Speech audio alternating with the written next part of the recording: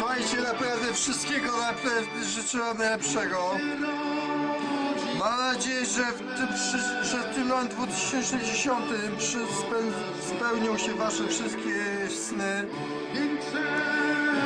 Także składam wam najlepsze życzenia świąteczne i mam nadzieję, że naprawdę dziesiątko Jezus sprawi,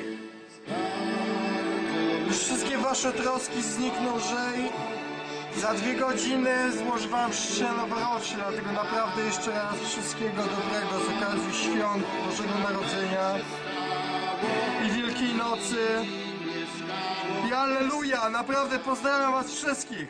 Niech was wszystkich Pan Bóg błogosławi, dziesiątko Jezus!